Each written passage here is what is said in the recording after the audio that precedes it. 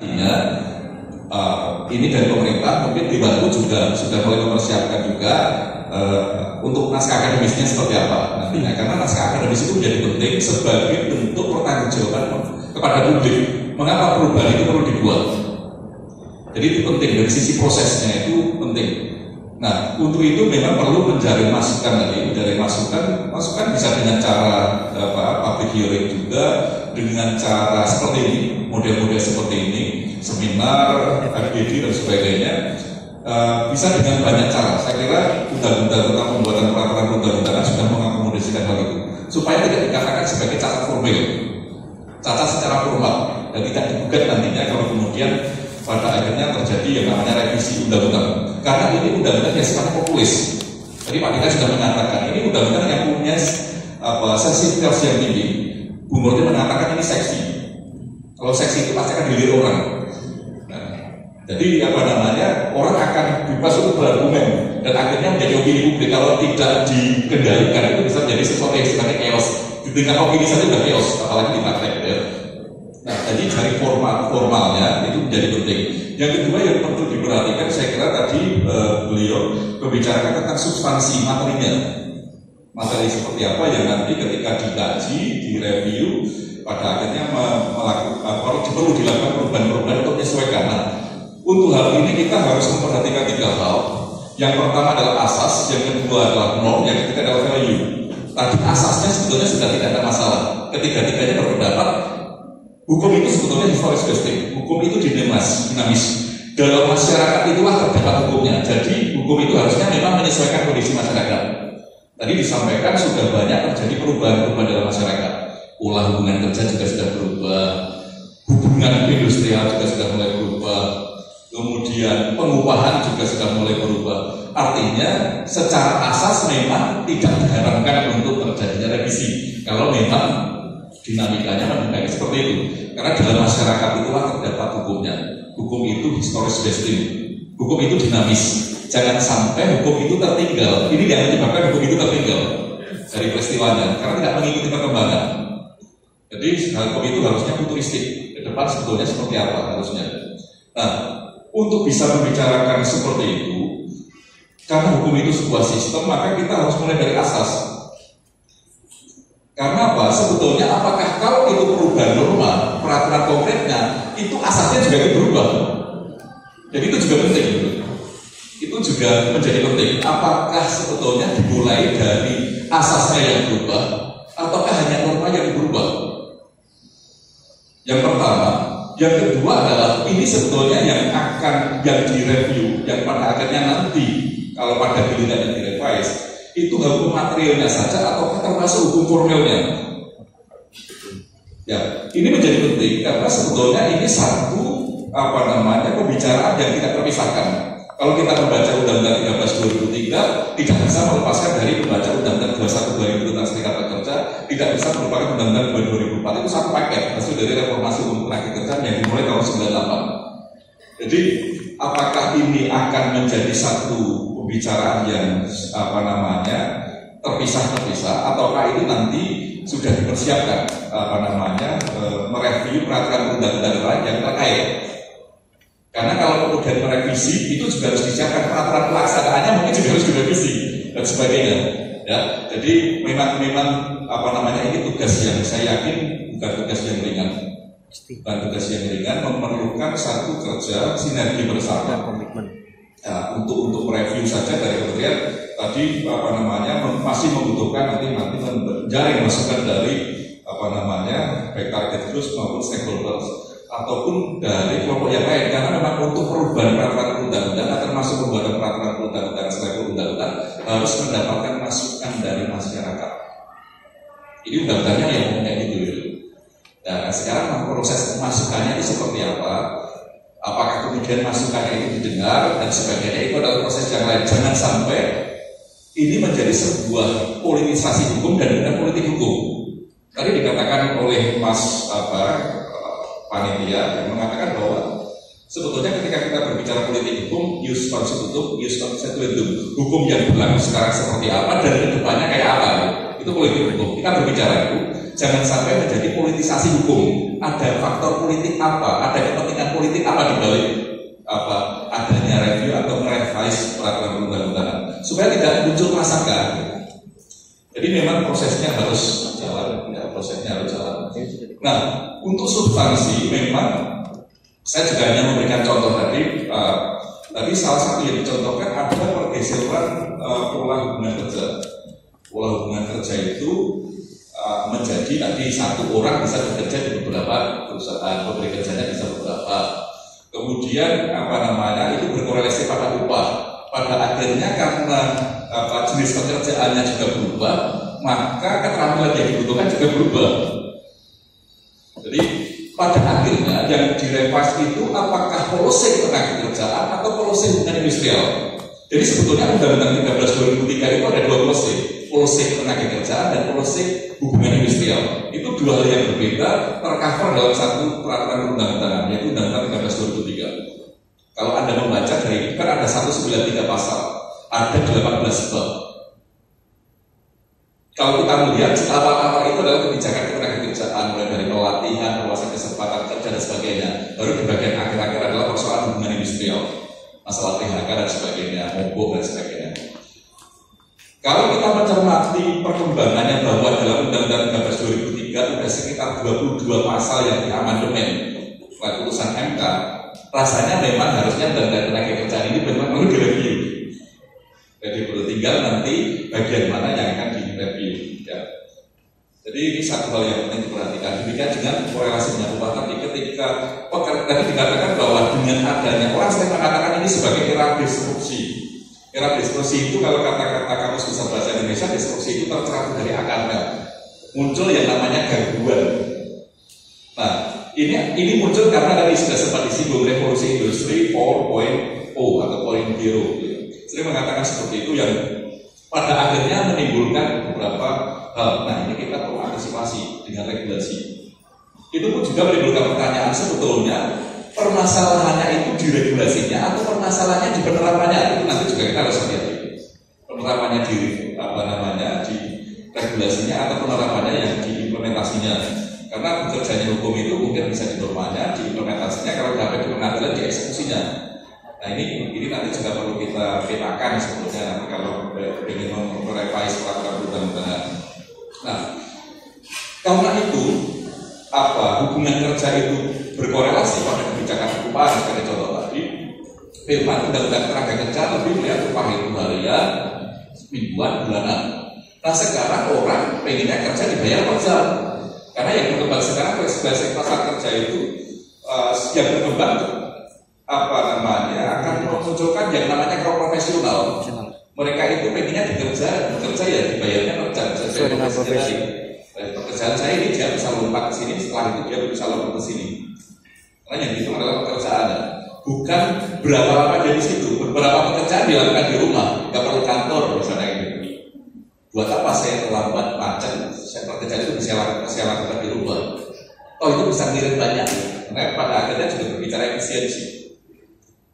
Jadi ini ini juga sementara Undang-Undang 13 2003 belum sampai menyentuh ranah itu gitu sehingga perlu disesuaikan, direview untuk nanti akhirnya disesuaikan.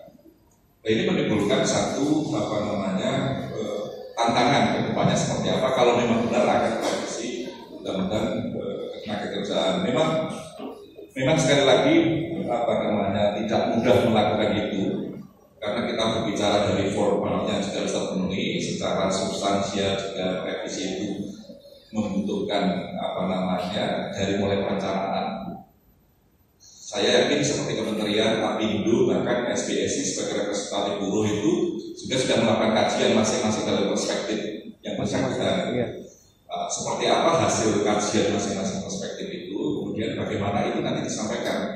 Mungkin dari kami yang akademisi bisa membantu untuk memberikan masukan sebaiknya seperti apa. Karena tadi sempat dikatakan bahwa sebetulnya hubungan industrial ya, sebetulnya ini satu hal yang, yang menjadi menarik karena hubungan kerja dan hubungan industrial itu kan berbeda Ya, ini mau misalnya mau memasukkan sebagai contoh mau memasukkan ini sekarang modelnya sebenarnya online di era disrupsi ini. Dari sekarang tidak ada industri retail, kemudian mall-mall juga mulai tutup diganti dengan Tokopedia, Bukalapak dan sebagainya. apa driver online dan sebagainya. Nah ini sesu, sesuatu seperti ini perlu ditangkap ya, perlu ditangkap. Ini nanti pengaturannya akan akan seperti apa? Karena undang-undang tenaga kerjaan itu di dalam penafsiran otentiknya dalam ketentuan umum hanya memunculkan hubungan kerja. Bagaimana hal yang mendasari apa yang bisa menjadi dasar hukum untuk memasukkan misalnya perjanjian kemitraan masuk di situ gitu. Misalnya itu. Jadi tidak mudah itu. Memang tidak mudah. Sekali lagi secara substansial tidak mudah. Dimulai dari asas dulu. Asasnya itu sebetulnya apa kita baca dari konsiderasinya dulu. Konsiderasinya itu sebenarnya undang-undang tenaga kerjaan itu tujuannya untuk apa sih? Memberikan perlindungan kepada pekerja untuk apa namanya perlindungan dunia usaha agar kompetitif dan sebagainya. Karena selama ini jujur aja pemerintah lebih banyak menyoroti masalah SDM perlu kesiapan perlu produktif karena perlu produktif maka punya daya saing pada akhirnya ke ekspor global dan seperti itu. Nah sekarang yang penting kalau kita tahu sesuai tenaga kerjaan apakah regulasi ketenaga kerjaan sudah mempersiapkan itu, itu bukan hanya menyiapkan SDM-nya tetapi menyiapkan regulasinya regulasi ketenaga kerjaan apakah sudah disiapkan untuk itu bisa nggak menyiap apa namanya e, mengakomodasikan itu Nah, kalau mau mau mengakomodasikan apa yang ada dalam masyarakat, apakah nanti title-nya masih hukum tenaga kerjaan misalnya? Itu bukan yang bukan bukan satu PR yang sederhana. Apakah nanti judulnya masih undang-undang tenaga kerjaan ataukah yang lain? Ini, ini satu hal ya. Kemarin sempat muncul ya di wacana. Kita kenapa nggak buat omnibus law? Jadi semua bisa terkawal dalam satu peraturan. Kalau ada doa doa satu jaga, ini ada peraturan satu jaga itu bisa mengakomodasikan beberapa persoalan di dalam apa namanya konstelasi tenaga kerjaan sehingga bisa semuanya tercover. Ya, apa yang kemarin disampaikan Mas itu menjadi menarik apa yang terjadi di California itu ada beberapa aturan yang mengakomodasikan itu oh ternyata di situ ada dipetakan ini ada yang poin ini ada yang apa yang apa untuk yang ini ini tapi memang itu kerja yang yang cukup keras kita bisa juga sih melakukan apa remarks ke sana peraturan-peraturan terkait di sana untuk menjawab persoalan-persoalan ini. Karena seperti misalnya apa eh, transportasi daring ini seperti ojek online dan sebagainya ini memang kan munculnya dari dari sana. Gitu. Beberapa beberapa fakta empiris atau fenomena tenaga kerja yang ada itu muncul dari sistem hukum yang berbeda dengan kita. Ini juga perlu garis bawahi. Bagaimana sesuatu yang berasal dari sistem hukum yang berbeda masuk ke kita, kita sudah punya sistem hukum sendiri. Jadi, apakah kita melakukan penyesuaian? Apakah kita menerima begitu saja? Ketika ada orang masuk, orang asing masuk, artinya peraturan dari sistem hukum yang berbeda masuk ke kita, apa yang kita lakukan? Menerima begitu saja? Pe apa? Pekerja memasuki usia pensiun normal, kemudian pengusaha disertakan dalam program pensiun, dan iuran atau preminya juga oleh pengusaha maka tidak perlu perlu pengusaha itu membayar uang pesangon dan membayar masa kerja. Tetapi ayat tiganya mengatakan kalau ingin mengatur berbeda silahkan diatur dalam PK, PKB. Nah persoalannya ini Undang-Undang 13 2003 itu kan dibuat tahun 2003 sebelum Undang-Undang tentang Sistem Jaminan Sosial Nasional lahir. Bahkan Undang-Undang BPJS. Ini ini sekarang jadi jadi apa namanya jadi isu nasional ada BUMN besar yang kasusnya ini gitu. Dan, dan itu masih menjadi isu nasional. Ini satu hal yang, yang karena di sini ada program pensiun Undang-Undang 13 2003 ini hanya mencabut 15 ordonasi dan atau undang-undang, tidak mencabut undang-undang dana pensiun, tidak mencabut sama sekali. Jadi ini satu satu hal yang yang kemudian menimbulkan menimbulkan persoalan. Memang apa namanya apa kalau saya sebagai akademisi pengennya memang tadi itu satu konsep yang harmonis Betul, ya, ya. Jadi pada satu sisi pemerintah, uh, pengusaha dunia double. Pada satu sisi pekerja itu masih harus memperjuangkan untuk mendapatkan apa yang menjadi haknya. Jadi ini yang sering dikatakan oleh ahli tenaga kerjaan itu dianggap sebagai proses biopsikologis. Memang konfliknya pekerja dan pengusaha itu biopsikologis sejak melekat sejak lahir itu. Jadi memang pekerja pengennya ini, pengusaha pengennya ini. Nah, sekarang pemerintah memang posisinya sebagai bapak yang bijaksana gitu. Bukan pengusaha dan anak-anaknya yang memang apa namanya? Ini anak-anaknya bagaimana mereka itu harmonis gitu ya. Bagaimana menjadi harmonis apalagi konsepnya tadi konsep hubungan industrial Pancasila dulu namanya hubungan perguruan Pancasila itu muncul dari seminar hubungan perguruan Pancasila tahun 74 itu muncul dan salah satu dosen kita menjadi wakil untuk menelurkan seminar nasional tentang hubungan perguruan Pancasila. Ya tadi itu uh, konsep asas kemitraan itu sudah dikenal sebelumnya asas partnership dari uh, apa bahasa apa namanya asas yang dianut oleh Ki Hajar Dewantara itu sebetulnya Tebi, Mamurat Sariko, Anggrek Sowani itu konsepnya apa Tuturi Handayani itu konsepnya apa namanya Ki Hajar Dewantara yang diaplikasikan ke hubungan industrial. Cuma nanti persoalannya harmonis itu apa sebetulnya? Sebetulnya ketika berbicara tentang harmonis dalam hubungan antara buruh dan pengusaha itu apa yang dimaksud harmonis itu apakah tidak memihak berada di tengah-tengah balancing seimbang ataukah sebetulnya yang namanya harmonis itu adalah sesuatu yang sifatnya proporsional? Hak saya lebih besar karena memang impring saya lebih besar. Karena kontribusi saya lebih besar maka hak saya lebih besar. Jadi apa, merumuskan itu dalam satu formulasi itu bukan hal yang mudah. Karena keadilan dalam hubungan industrial itu memang agak sulit didefinisikan. Sebetulnya keadilan dalam hubungan industrial itu yang kayak apa sih? Kalau kita mahasiswa fakultas hukum aja nggak pernah tahu yang namanya adil loh. Kita S1 aja nggak pernah ada mata kuliah keadilan loh. Nggak ada, ada apa biasanya mata kuliah keadilan enggak loh. Nah, yang namanya adil yang kayak apa? Ya?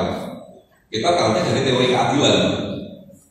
Adil aja macam-macam. Apakah ketika membuat peraturan perundang-undangan itu mau menggulirkan peraturan perundang-undangan tidak melihat asas keadilan harus jadi keadilan perspektif pembuat peraturan, keadilan perspektif pekerja, keadilan perspektifnya pengusaha, keadilan masyarakat ada sendiri, keadilan hakim sendiri. Hakim dalam memutus perkara kan kita eksekutornya seperti itu demi keadilan berdasarkan Tuhan yang Maha Semua punya perspektif sendiri tentang adil. Lah dalam hubungan industrial adil itu yang kayak apa?